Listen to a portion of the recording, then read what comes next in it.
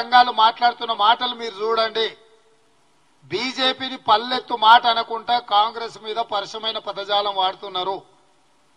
కాంగ్రెస్ ఉండడమే మంచిది కాదన్న ధోరణిలో మాట్లాడుతున్నారు నేను అడుగుతున్న బిల్లా రంగాలను ఈ దేశంలో కాంగ్రెస్ పార్టీ ప్రభుత్వాన్ని ఏర్పాటు చేయకపోతే ఎవరు అధికారంలోకి వస్తారు? నరేంద్ర మోడీనే కదా. మరి కాంగ్రెస్ రాకుండా నిలువరించాలని మీరు చేస్తున్న ప్రయత్నము మూడోసారి ఈ దేశానికి నరేంద్ర మోడీని ప్రధానమంత్రిని చేయడానికి మీరు చేసుకున్న చీకటి ఒప్పందం ప్రజలకు అర్థం అవుతలేదని మీరు అనుకుంటున్నారా? కాబట్టి ఈరోజు బీఆర్ఎస్కు ఓటీ వేస్తే మూసీలో వేసినట్టే. ఇవాళ మోడీని బీజేపీని నిలువరించాలి అని అంటే అది కాంగ్రెస్ పార్టీతోనే సాధ్యమవుతుంది. పునర్విభజన చట్టంలో పొందుపరిచిన అంశాలను సాధించుకోవాలంటే అడిగేది మేమే ఇచ్చేది మేమే ఈ ఎన్నికల్లో. కేంద్రంలో కాంగ్రెస్ అధికారంలోకి వస్తేనే తెలంగాణకు ప్రజలకు ఇచ్చిన హామీలు నూటికి నూరు శాతము అమలు జరుగుతాయి. ఇంతకాలం కేసీఆర్ అడిగింది లేదు మోడీ గారు ఇచ్చింది లేదు. ఇప్పుడు ఇచ్చేది మేమే తెచ్చేది మేమే.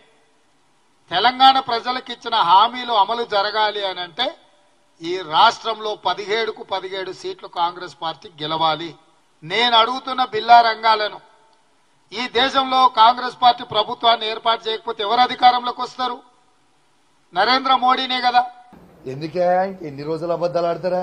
మీకు సిగ్గు అనిపిస్తలేదా ఇంకా అబద్ధాలు ఆడడానికి అని చెప్పి నేను అడుగుతూ మీరు బిల్లా రంగం బిల్లా రంగం అని పదే పదే పదే మాట్లాడుతూ ఉన్నారు.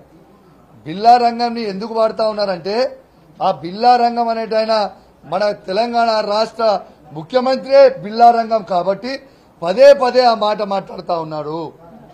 ఇవాళ ఆయన గురించి ఆయననే చెప్పుకుంటా ఉన్నాడు. ఇవాళ నీకు ప్రజలు అధికారం ఇచ్చిర్రు. నువ్వు ప్రజలకి ఏం చేస్తావో చెప్పు కానీ నీ నోటు ఎటువంటి అటు వారేసుకుంటే ప్రజలందరూ కూడా చూస్తా ఉన్నారు గమనిస్తా ఉన్నారు. ఖచ్చితంగా ఈ వచ్చే పార్లమెంట్ ఎలక్షన్లలో నీకు బుద్ధి చెప్తారు. నువ్వు ఇట్లాంటి మాటలు మాట్లాడితే నీకు బుద్ధి చెప్తారు. అసలు నీకు సిగ్గు శరం ఉందా అని అడుగుతా ఉన్నాయి ముఖ్యమంత్రిని ముఖ్యమంత్రి ఏమంటాడే?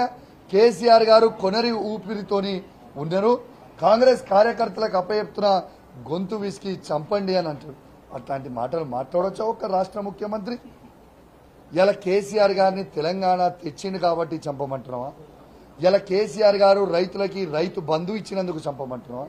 కేసీఆర్ గారు ప్రతి ఎకరానికి నీళ్ళు ఇచ్చినందుకు చంపమంటున్నావా?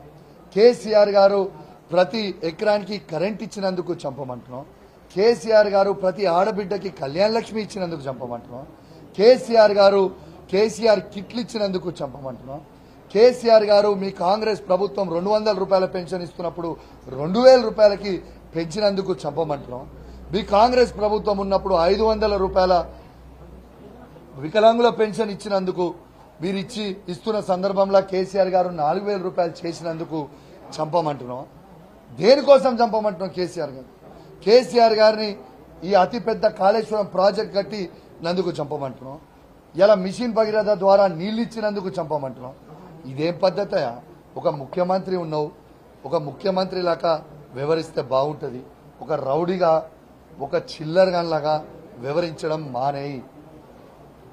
దయచేసి తెలంగాణ ప్రజలందరూ కూడా నువ్వు చేసిన మీరు హామీలు ఇచ్చిన ఈ ఆరు గ్యారెంటీలు అమలు చేస్తారని కోరుకుంటున్నారు. ఎంతసేపు కేసీఆర్ గారు చేసింది చేసింది పంచి చూపించుకుంటూ నేను చేస్తున్నా నేను చేస్తున్నా నేను చేస్తున్నా అని చెప్తున్నావు. ఏడ చేసినావు ఆయన? ఇలా మేము అంటే అన్నం అన్నం అని విరుచుకుపడతారు ఇలా ఎన్నికలు అవుతున్నప్పుడు వాళ్ళు చెప్పలేదా? డిసెంబర్ నైన్త్కి మేము రెండు లక్షల రూపాయలు రుణమాఫీ చేస్తాం. రుణాలు తీసుకునే వాళ్ళు ఉంటే రుణాలు ఇవ్వండి తీసుకోండి మేము చేస్తామని చెప్పింది మీరు కాదా? ఇలా కేసీఆర్ గారి ప్రభుత్వం తెలంగాణ వచ్చిన తర్వాత రెండు వేల పద్నాలుగు నుంచి రెండు వేల ఇరవై మూడు వరకు ఇవాళ రెండు లక్షల రెండు వేల ఏడు వందల ముప్పై ఐదు ఉద్యోగాల భర్తీ చేసినాం. ఇలా భర్తీ చేసింది లక్ష అరవై వేల ఎనభై మూడు ఉద్యోగాలు నలభై రెండు వేల నలభై రెండు వేల ఆరు వందల యాభై రెండు ఉద్యోగాలని ఇలా ప్రాసెస్లో పెట్టినాం. ఈ రెండు కలిపితే రెండు లక్షల రెండు వేల ఏడు వందల ముప్పై ఐదు ఉద్యోగాలు మేము ఇచ్చింది. అంటే మీరు ఆలోచన చేయండి. నేను ఇలా కేసీఆర్ గారు చేసిర్రా లేకుంటే ఇంకెవరన్నా చేసిరా ఒక్కసారి తెలంగాణ ప్రజలు మొత్తం కూడా ఆలోచన చేయాలని నేను కోరుతా ఉన్నాను. ఇంకా ముప్పై వేల ఉద్యోగాల నోటిఫికేషన్లు ఇవ్వాల్సిన అవసరం ఉంది. నేను ఈ గౌరవ ముఖ్యమంత్రి గారిని డిమాండ్ చేస్తా ఉన్నాను. మేము ఇచ్చిన రెండు లక్షల రెండు లక్షల ముప్పై రెండు వేల ఉద్యోగాలు కాకుండా అదనపు రెండు లక్షల ఉద్యోగాలు మీరు జాబ్ క్యాలెండర్ విడుదల చెయ్యాలి మీరు విడుదల చేయండి మేమేం తొందర అంటలేం. మీరు విడుదల చేయండి. ఆ విడుదల చేసిన తర్వాత మీరు అన్న ఇరవై ఇరవై నాలుగు డిసెంబర్లోనే ఈ రెండు లక్షల ముప్పై రెండు వేల ఉద్యోగాలు కాకుండా అదనపు రెండు లక్షల ఉద్యోగాలు మీరు జాబ్ క్యాలెండర్ రిలీజ్ చేయాలని ఈ ప్రభుత్వాన్ని నేను డిమాండ్ చేస్తా ఉన్నాను. నేను ఇంకోటి కూడా సూటిగా ఛాలెంజ్ చేస్తా ఉన్నా. ఇలా కాంగ్రెస్ బీజేపీ వాళ్ళకి నేను సూటిగా ఛాలెంజ్ చేస్తా ఉన్నా. ఈ భారతదేశంలోనే ఏ రాష్ట్రంలన్నా కేసీఆర్ గారు ఇచ్చిన దానికంటే ఎక్కువ ఉద్యోగాలు ఇచ్చిన రాష్ట్రం మీరు చూపిస్తే ఇదే అసెంబ్లీల సాక్షిగా నా ముక్కు భూమికి రాకి క్షమాపణ కోరుతా. లేకుంటే మీరు కేసీఆర్ గారు ఉద్యోగాలు ఇచ్చిండ్రు అని మీరు ఒప్పుకుంటారా అని చెప్పి నేను అడుగుతా ఉన్నాను.